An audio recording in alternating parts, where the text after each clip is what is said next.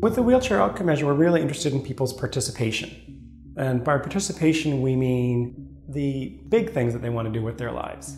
So it might be walking the dog, it might be going to work, might be seeing a movie, and those are the bigger, higher level outcomes that we want to evaluate.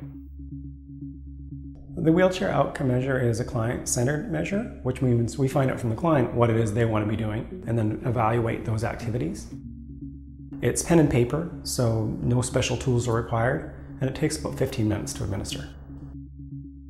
We first off ask people what activities they want to use their wheelchair for within the home. And what activities do you want to use your wheelchair for outside the home in the community?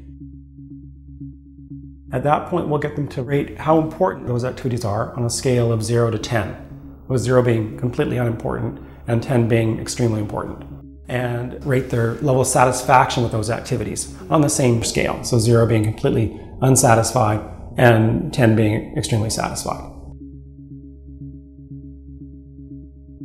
In the second part of the WhOM, we get people to rate their satisfaction with their positioning, their comfort, and also whether they've had any skin breakdown.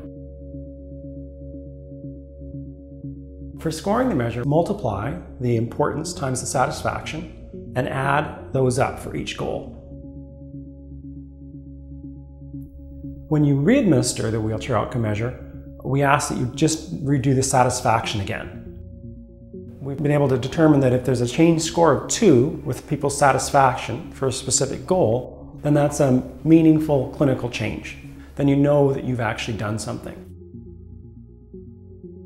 By administering the wheelchair outcome measure before and after an intervention, like providing a new wheelchair, new seating, or training, you can look at how your intervention has changed the client's satisfaction with their participation in goals that are important to them.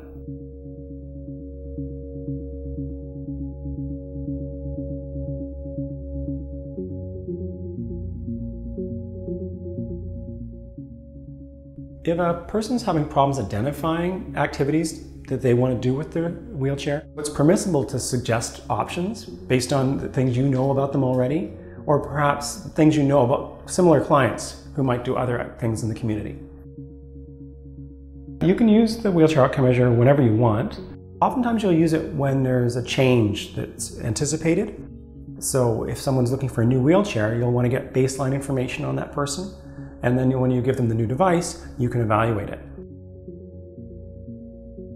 if people have more than one wheelchair, you can administer more than one WhOM. So you'd have a WhOM per wheelchair. The wheelchair outcome measure is available free of charge for everyone.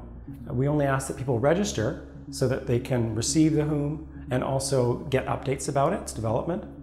The measure is available from our website, through the SCIRE website, or also Dr. Miller's homepage.